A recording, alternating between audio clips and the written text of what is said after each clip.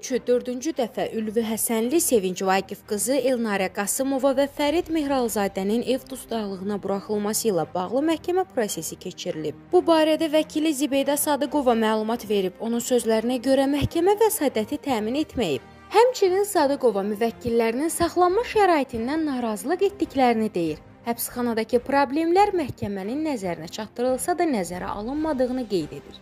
Gün deməli, dördüncü dəfədir bu ev dustaqlığı verir.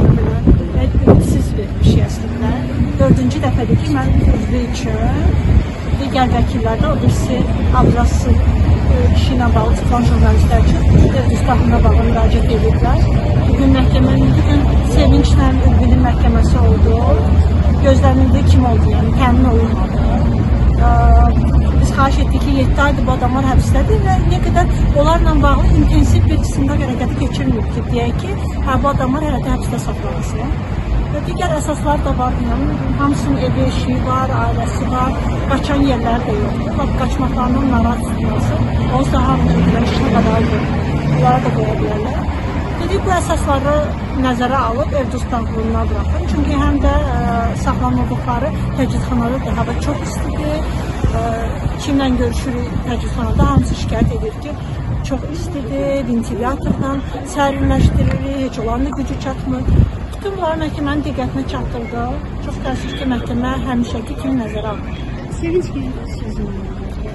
Mən Elvidə vəkiləm. Elvi, yəni müdafiə etdi, o da razılaşdı ki, ev dustaqlığını əvəz etsə yaxşı olar və istintaqın və məhkəmənin də hər çağırışına gələsidir. Əgər gəlməsə, doğrudan da yayılsa, o zaman müstəntiq əsaslandırılmış vəsatətlə məhkəməyə müraciət edə bilər. Onda məhkəmə vətənkan tədbirinin seçilməsi məsələsinə baxa bilər.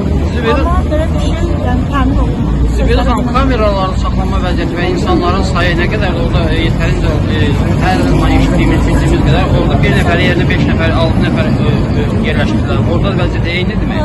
Məsəl üçün ünvidə çox sıxlıq deyil, amma yenə də isti olduğuna görə şikayət edir. Yəni çox istidir. Amma digər mənim məsəl üçün müvəkkillərim var ki, onlar sıxlıqda şikayət edir.